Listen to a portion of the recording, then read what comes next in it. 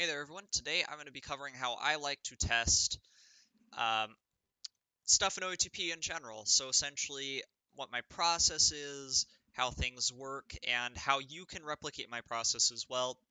Just to be clear, uh, I'm trying to be as open about my testing process as possible and how I'm collecting data because obviously if I expect you guys to trust what I'm putting out there, you deserve to know where it's coming from and you deserve to have the opportunity to replicate my results or create your own test if you can come up with better methods. So, first thing I want to go over is I do have a standardized league. I've been using this process since OOTP 21. Uh, I got to a point where I feel as though it was nearly perfected last year and pretty, pretty uh, effective overall. So, what I have here are two absolutely identical teams, and that's going to be the big key. Um, so, we're going to go over how I set this league up so that everything is accounted for and everything is neutralized. So, all the noise in collecting data is gone, and you're just looking at the effects of whatever it is you're testing. So the first thing is I've turned off basically everything I don't need for the game to function in terms of uh, just pure player versus player attributes because everything else will complicate it. It will add noise, and we don't want that. So scouting is off. Um, I have coaching system off. Owners are off, essentially. Storylines are off. I have injuries off. I have fatigue off. I have um, suspensions off. I have personality and morale systems off. I have player dis- development completely disabled. I have um, under league settings, these things are a little less important, but I obviously only have two teams. I have the draft off. I have uh, the creation of free agents disabled. I have trading disabled. Uh, the financial system is off. that is actually kind of important because it makes it a little easier to navigate your league. Uh, I have all player creation disabled. And under stats and AI, and this is the big one, I'm going to make sure I set these modifiers to be what they are in the real game.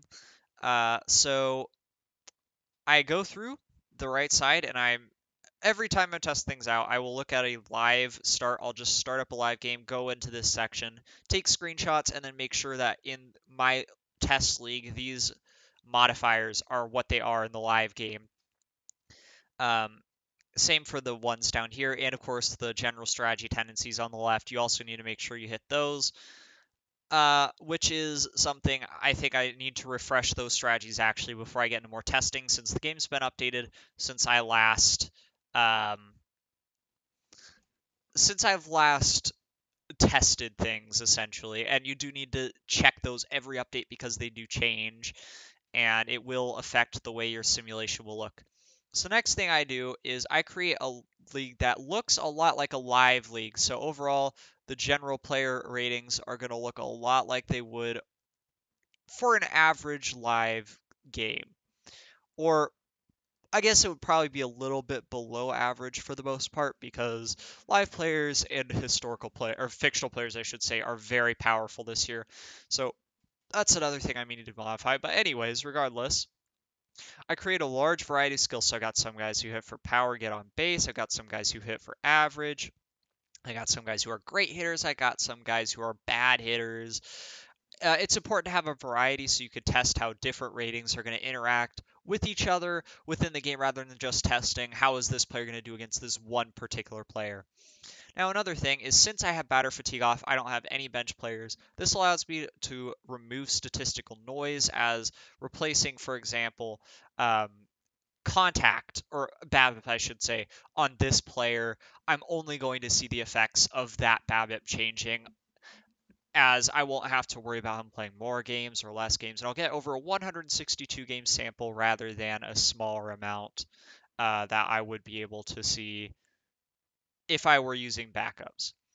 Now, I have a very specific pitching setup essentially. The important thing though is that you have it standardized between both teams. You need your bullpen and rotation to be set the same.